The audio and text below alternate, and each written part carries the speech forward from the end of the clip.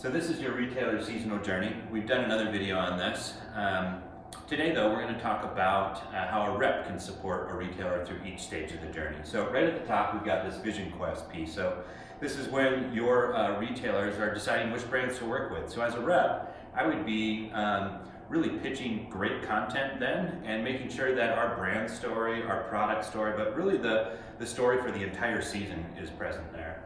Uh, in the numbers area, this is where um, you've got to make sure that your retailers um, are looking at the same data you are. It can be that simple, or data at all. Um, and if they don't have any, um, this is your job to supply um, data that suggests performance for stores like them.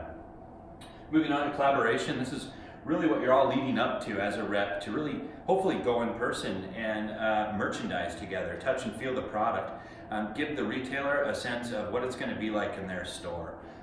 so you're really going to need some deliverables from your marketing department for this likely.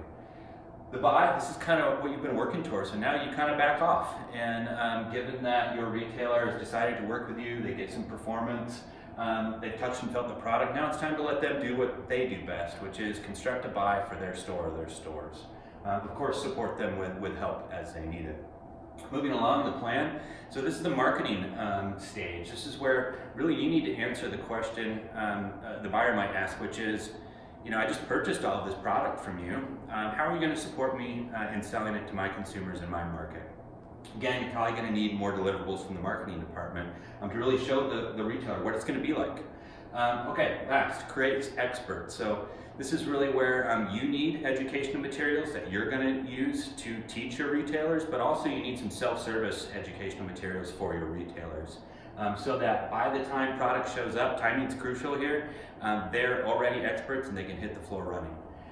All right, so that kind of brings you into the season. We'll do other videos on that, but um, this is a, um, a, way to think about how your reps can support your retailers uh, that we've taught a lot of brands here at Envoy. I hope it's helpful for you as you approach your next season.